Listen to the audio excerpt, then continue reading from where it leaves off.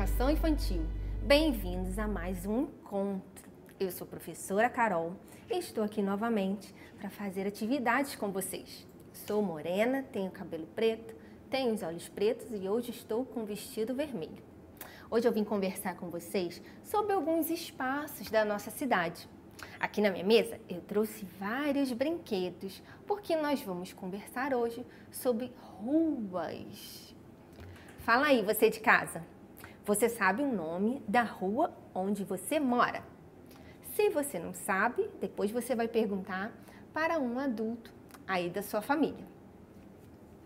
Pessoal, quando eu era criança, as pessoas tinham um hábito bem legal de colocar as cadeiras de praia na rua, de ver as crianças brincando nas ruas e eu guardo muito isso na memória.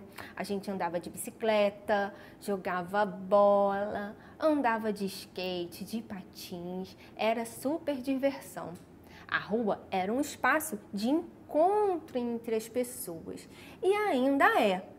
Mas hoje em dia isso não é muito comum. Na verdade, em alguns bairros, as crianças ainda brincam nas ruas. Só que as ruas têm muitos perigos, você sabe, não é? Que a gente fica com medo dos perigos da rua. E o principal deles são os automóveis passando.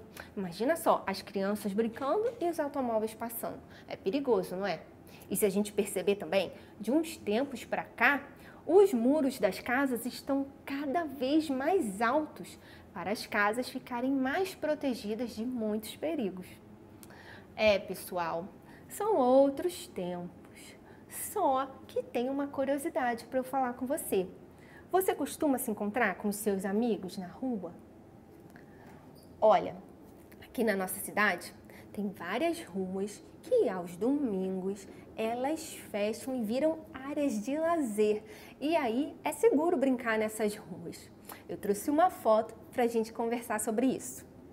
E por falar em brincar na rua, essa aí é uma das ruas que são fechadas e viram áreas de lazer aos domingos e também aos feriados.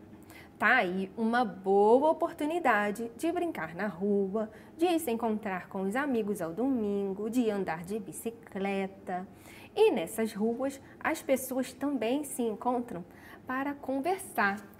Você sabia que eu já vi até uma festa de aniversário uma vez numa dessas áreas de lazer, dessas ruas de lazer? Olha só que curioso.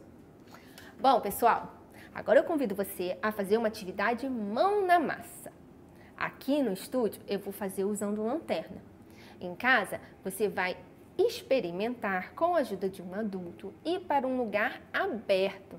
Pode ser uma dessas ruas que fecham aos domingos e feriados, ou pode ser outro espaço, espaço de lazer que fique bem aberto e um dia de bastante sol, porque nós vamos brincar com as sombras. Para essa atividade, eu separei uma folha, escolhi alguns brinquedos para fazer a brincadeira, tá? E aí você escolhe os brinquedos que você tem aí na sua casa, tá? E eu também vou utilizar a minha lanterna. Eu vou imaginar que a minha lanterna é a luz do sol. E aqui eu vou brincar que eu estou num espaço aberto e num dia bem ensolarado. Bom, eu vou posicionar o meu brinquedo aqui no cantinho da folha, na lateral, tá? E agora eu vou ligar a lanterna e você aí imagina que a minha lanterna é o sol bem forte batendo. E olha só que interessante com a luz do sol, eu percebo, olha a sombra que está se formando aqui com o meu brinquedo. Eu vou colocar outro brinquedo para a gente ver. Vou colocar aqui ó, o astronauta. Olha lá que legal a sombra do astronauta. Com a luz do sol, a gente também vai conseguir ver uma sombra assim. Você vai experimentar fazer em casa depois, com uma canetinha, o desenho em volta dessa sombra que se formou.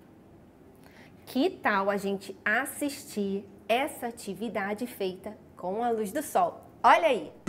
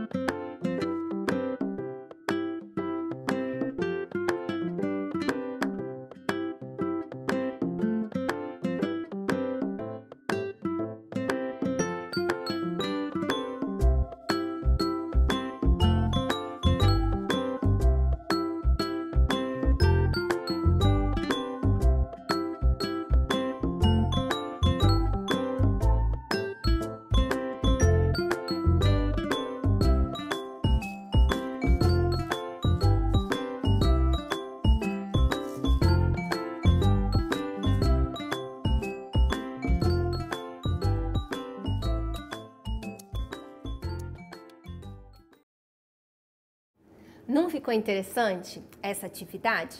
Perceberam a forma que a sombra fez e o desenho que eu consegui fazer no entorno da sombra? Em casa ou quando você for fazer essa atividade num lugar aberto. Também é legal a gente brincar com a sombra do nosso corpo perceber contra a luz do sol a nossa sombra se formando e brincar de se movimentar e observar essa sombra. Você aí já brincou com sombras? Então fica a dica dessa brincadeira. Hoje nós conversamos sobre brincar na rua e sobre espaços de lazer, que são espaços de encontro entre as pessoas nos domingos e feriados. Nós também brincamos com sombras. Eu tenho certeza que você de casa também vai fazer essa brincadeira. Então, até o próximo encontro. Um beijo, tchau, tchau!